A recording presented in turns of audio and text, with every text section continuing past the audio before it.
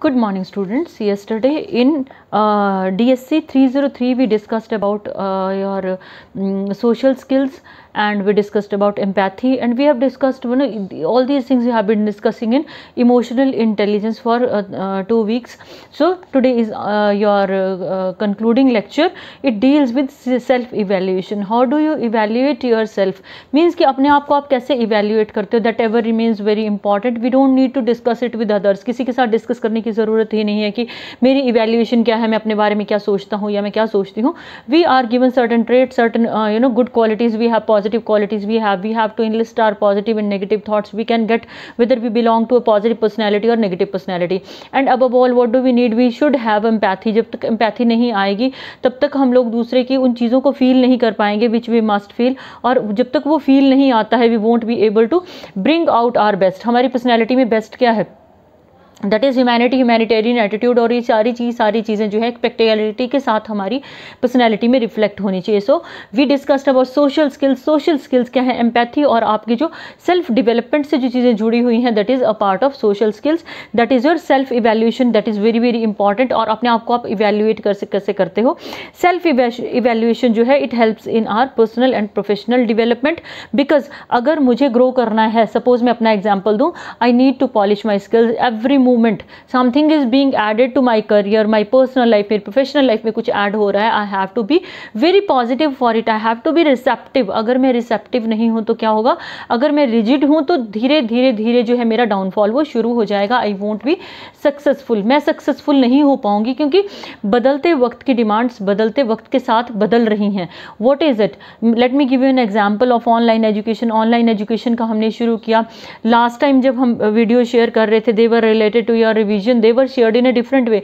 this time i'm sharing i'm sharing with you a live class feeling i'm trying to give you the way i'm trying to communicate with you and the way i want you to be uh, you know supportive i want you to communicate with me i want you to be uh, communicate with me in a very healthy way मैं ये चाहती हूँ कि आप लोग भी मुझसे communicate करें your senior most class you have been with me for two years so this thing I want you to do ये चीज़ मैं आपसे एक्सपेक्ट कर रही हूँ because online teaching is going on very successfully अगर हम नहीं कर रहे हैं तो हम लैक कर रहे हैं सो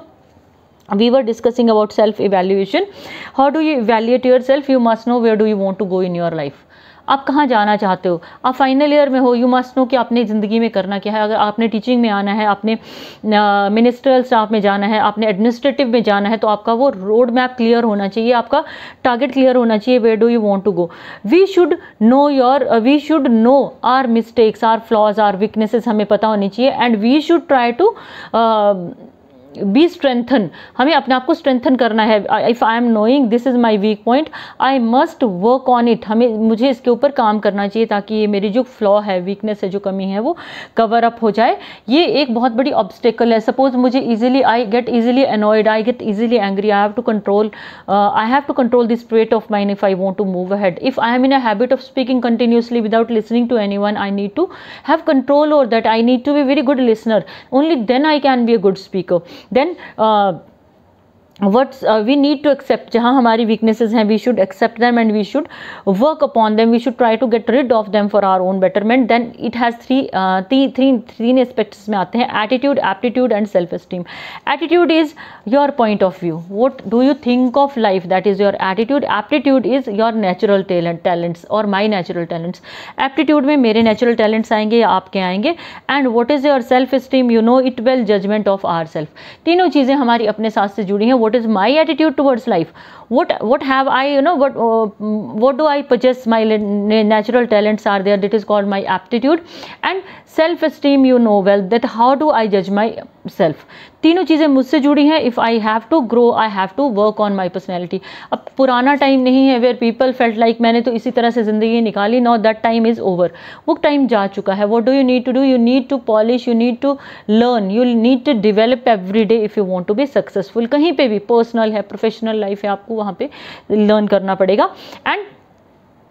सबसे पहले we need to be true to our self we should have courage to accept our mistakes गलती हो जाती है then admit it instead of hiding it you should have courage कि मुझसे गलती हुई है, इसकी रेमेडी की हम बात करेंगे इंस्टेड ऑफ़ इसके हाइडिंग के लिए। We won't hide our mistakes क्योंकि एक मिस्टेक को छुपाने के लिए you have to make many mistakes एक झूठ को छुपाने के लिए we have to tell many lies so instead of you know going ahead with that very wrong path पे, आगे जाने से पहले what we need to do we need to amend our ways उस, वो कैसे होगा? अपने आप को सुधार कैसे होगा कि हम लोग क्या करेंगे? वील एक्सेप्ट आर मिस्टेक सबसे पहले। उसके बाद कंप्लीट सेल्फ एवेल्यूएशन हमारी कब होती है? व्हेन वी आर परफेक्ट जज ऑफ़ आर सेल्फ जब हम अपने आप को खुद जज करते हैं। मैंने आपको पहले भी डिस्कस किया आप लोगों से कि यू आर द बेस्ट जज ऑफ़ योर सेल्फ आपको पता है आप कितनी मेहनत करते हो? आपको पता है आपका फोकस क्या है? आपको पता है आपका गोल क्या है? आपको पता है कि आपने कितने एफर्ट्स डाले हैं अपने आप को? फ़र्स्ट ईयर से लेकर सेकेंड ईयर में फाइनल ईयर तक आपने कितना चेंज किया है? और आप अपने साथ कितने ऑनेस्ट हो? If you are not honest with your self you can never be honest with any ना तो पेरेंट्स के साथ, ना सोसाइटी के साथ, ना अपने प्रोफेशन के साथ, कहीं पर भी आपसे ऑनेस्टी एक्सपेक्ट नहीं की जा सकती। So what do we need to do we need to improve our self first अपने आप पे वर्कआउट करने की ज़रूरत है। And your last second last concept is of stress what is stress actually अब हम लोग जो एक लाइव uh, आप लोगों से रिसेंट uh, एक चीज़ शेयर कर रही हूँ। We have bin confined to our homes for six months agreed fine हम छः महीने से घर में बंद है। Now what we are feeling it's not a problem with we people हम लोगों के साथ नहीं है it's problem with teenagers mainly ज़्यादा प्रॉब्लम टीन एजर्स की है। What what is it you were in a habit of you know going to college sharing large number of things with your friends going for an outing campus में बैठना है time spend करना है एक दूसरे का शेयरिंग करने हैं शरारतें भी करनी है ठीक है? That is a part of your life और uh, एक दूसरे के साथ आप लोग जो है वो नोट्स भी शेयर करते हो large number of things are there लेकिन छः महीने से वो सारा कुछ बंद पड़ा है। You have bin confine to your homes only if you say like I to go to college पहले पेरेंट्स को आपको सेटिस्फाई करना पड़ेगा आप कॉलेज क्यों आना चाह रहे हो? Some of the parents they make me phone calls की बच्चा बोल रहा है कॉलेज आना है क्या भेजना है? सो so, आप लोगों की लाइफ के लिए ज़रूरी है घर पे रहना। लेकिन घर पे रहना इंपॉर्टेंट है किस तरह से? आप एक लाइवली जीलफुल लाइफ जियो इसलिए नहीं कि आप स्ट्रेस या टेंशन या केयर्स वरीज के साथ जियो। you know well that uh, corona won't be there forever. पूरी ज़िंदगी तो रहेगा नहीं। धीरे धीरे धीरे लाइफ नॉर्मेलिसी की तरफ़ जा रही है। थोड़ा सा बच्चों को स्टूडेंट्स को अवॉइड कर रहे हैं बिकॉज़ उनके आने से गैदरिंग आती है, उनके आने से ज़्यादा स्प्रेड होने के चांसेस रहते हैं। सपोज़ कि एक हज़ार बच्चा है वन थाउज़ेंड के आसपास हमारे पास स्टूडेंट्स हैं और बाई चांस उसमें से कोई पॉजिटिव आता है या कुछ इस तरह का होता है तो that can create problem for us हमारा जो है वो सर्कल बढ़ जाता है। Because of that reason colleges and schools they have been they are still they are closed so what is stress stress क्या है? घर पे बैठ के नेगेटिव सोचना। नेगेटिव थॉट्स जो है, वो स्ट्रेस हैं। तो what you need to do you need to make a list of your blessings and you need to make a list of your negative things in life एक बात याद रखना कि अगर नेगेटिव की लिस्ट लंबी हो रही है तो you need to check you need to check your thoughts अपने थॉट्स को चेक करने की ज़रूरत है कि हम इतना ज़्यादा नीचे क्यों जा रहे हैं, हम इतने नेगेटिव थॉट्स के साथ क्यों जा रहे हैं। मैंने आप लोगों को पहले भी एक बेसिक टेक्निक बताई थी that right from the moment you leave your bed till the night till the moment you go back to your bed सुबह बिस्तर छोड़ने से पहले, रात को बिस्तर में जाने से पहले आपके पास कितनी पॉजिटिव चीज़ें हैं। Only one thing is there that is missing college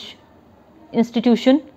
वही मिस हो रहा है ना rest of the things they are still alive आप लोग अभी पढ़ रहे हो एक चीज़ your parents are with you that is a blessing for you you are being fed well you are being given each and everything of your requirement you are given you know very cordial environment you are given at home rest of the thing is कि आप लोगों को थोड़ा बहुत manage करना है वो तो करना ही पड़ता है. So your life is filled with in a large number of blessings उनको काउंट करना है. तो don't need to there is no need to go towards negativity की तरफ़ जाने की ज़रूरत नहीं है. सो so, किसी भी सिचुएशन को जब हम नेगेटिवली रिस्पॉन्ड करते हैं that is called stress fine so they lose confidence जो स्ट्रेसफुल सिचुएशन में इंसान रह रहा है, वो कॉन्फिडेंस क्यों लूज़ करेगा? क्योंकि उसके अंदर इतने कॉम्प्लेक्सेस आ जाते हैं, कितनी तरह की फीलिंग्स आ जाती हैं कि जो नेगेटिव हैं, जो उसको नीचे लेके जाएँगी तो उसको आपने क्या करना है? अगर हम सपोज़ उस रास्ते की तरफ़ जा रहे हैं we need to check our self सबसे पहले सेल्फ चेक होता है, चाहे वो कॉन्फिडेंस का ले लो ऑनेस्टी का ले लो, किसी भी क्वालिटी का ले लो स्ट्रेस का ले लो. We know where we are going so our emotional intelligence जो है, वो क्या करती है? इमोशनल इंटेलिजेंस हमें हेल्प करती है फाइंड आउट करने की में कि हम लोग किस तरफ़ जा रहे हैं whether we are moving towards stressful situation, we need to control ourselves. So, people, you might have seen people are in a habit of crying in the evening, रात को, शाम को रोना शुरू कर देंगे नेगेटिविटी है डिप्रेशन है कम्युनिकेशन ज़ीरो है don't want to communicate they prefer to remain confined to the four walls of their room बात ही नहीं करनी है, जब भी बात करनी है तो चिल्लाना है all these signs are you know indicative of stress so we feel lonely and disappointed तो वो धीरे धीरे लोनलीनेस और डिप्रेशन जो है वो स्ट्रेस की तरफ़ हमें ले जाता है we need to control and we feel at times people incline towards taking alcohol they incline towards smoking वो नेगेटिव चीज़ों की तरफ़ जो है चले जाते हैं what is it is called stress जब आप खुद को कंट्रोल नहीं कर पाते तो आप एस्केप ढूंढते हो, आप भागना चाहते हो स्थिति से तो दैट इज़ कॉल्ड स्ट्रेस तो हम लोगों को first of all what what do we need to do we need very good sleep हमारे स्लीपिंग आवर्स जो हैं, जैसे कम से कम eight hours you need for sleep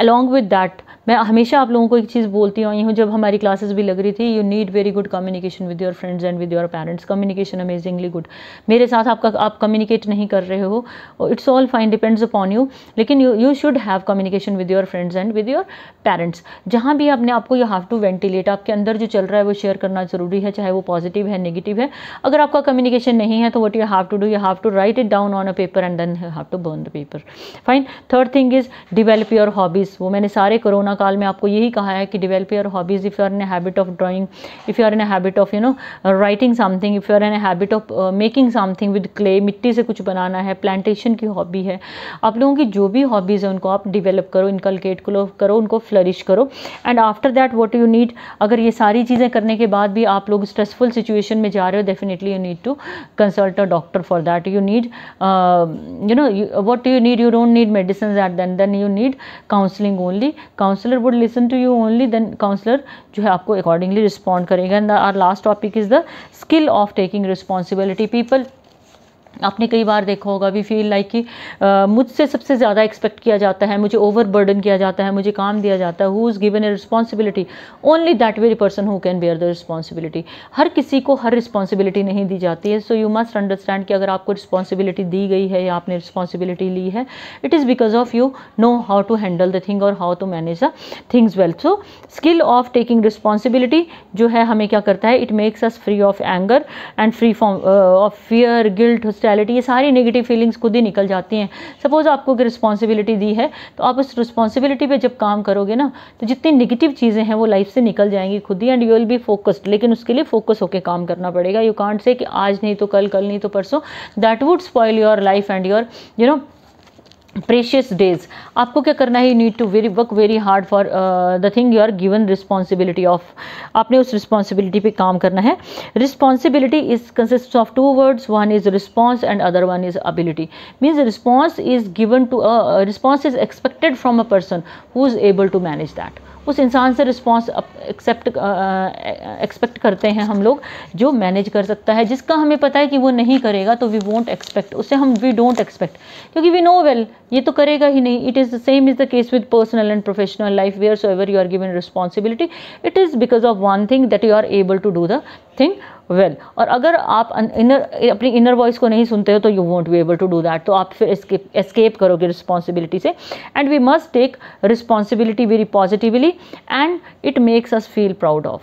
when we finish the responsibility we feel proud of we are you know applauded we are appreciated कोई करे ना करे but when we compare ourselves with our previous self तो हमें लगता है कि we are we are emerging in a better way so we need to bear, bear the responsibility and the uh, we should take responsibility very positively और उसको हमें अच्छी तरह से फुलफिल भी करना है और विंस्टन चर्चिल के कुछ वर्ड्स हैं what he says the price of greatness is responsibility if you want to be great अगर आप चाहते हो भीड़ से अलग निकलना है want to be a face in the crowd you need to you should bear the responsibility which particularly is given to you उस रिस्पॉन्सिबिलिटी को आपको उठाना पड़ेगा जो आपको दी गई है। If you accept responsibility what happens obviously you would feel proud of yourself responsibility brings integrity उसके साथ क्या आता है? इंटेग्रिटी जब आएगी तो आपकी इमोशनल इंटेलिजेंस डेवलप होगी और उसके साथ क्या आएगा? आप जो है वो चीज़ों को अच्छी तरह से जो है वो प्रॉपर रिसीव कर पाओगे और आप लोग प्रॉपरली उस चीज़ को अपनी लाइफ में अप्लाई करोगे। So integrity is a state of mind while we are not broken we keep on moving head completely unbroken at uncondition any condition रहते हैं हम। और इसकी जो पावर है it is what we call it your emotional intelligence is associated with it. And after that that helps us to take concrete decisions. Emotional intelligence है, हम concrete decisions ले पाएँगे और अपने disturbances को साइड पे छोड़ते हुए अपनी रिस्पॉन्सिबिलिटी को फुलफिल कर पाएँगे और उसका जो एंड रिज़ल्ट है, वो अमेजिंग रहता है because we know how do we how can we prove our self best उसके लिए empathy is required your social skills are required your self confidence is required your self knowledge is required and above all your faith in yourself is required. So only then you can grow in life. So today we have finished two units of ours. Rest depends on you. Better you purchase books. Are telling you again and again of soft skills. They are available in the market. So uh, now we'll continue with 304 good day